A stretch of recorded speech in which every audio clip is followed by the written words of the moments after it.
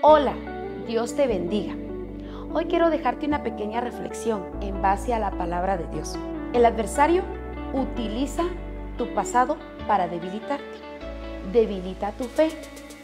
Así es que mejor dile que se quede con tu pasado, porque ahora tienes una nueva historia en Cristo Jesús.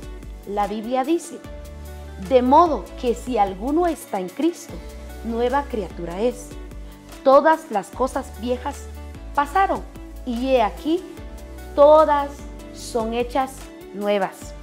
Regocíjate porque Dios te ama y Dios ha perdonado tus pecados. Que Dios te bendiga.